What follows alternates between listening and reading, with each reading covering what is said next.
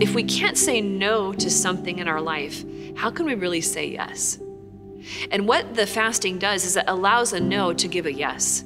So that when I can see a desire that comes to my heart and something for that is good, true, and beautiful, or something that maybe I've indulged in that you know st- just needs correcting or it needs to be um, purified a bit, what that does is it gives me the wherewithal and the power of Jesus Christ to say no to this, so I can say yes to this because Jesus is always inviting us to a greater yes. And so what we find often in our souls is that we have little things in our hearts, like is stuff. It's, sometimes it's even like potato chips, or it's like a certain Netflix show that you like, or all the different things that we kind of take time doing.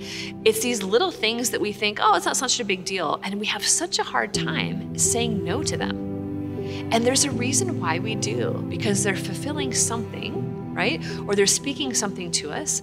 But when we can, fasting is something that actually brings out a certain agony. It brings out a certain crucifixion, as it should.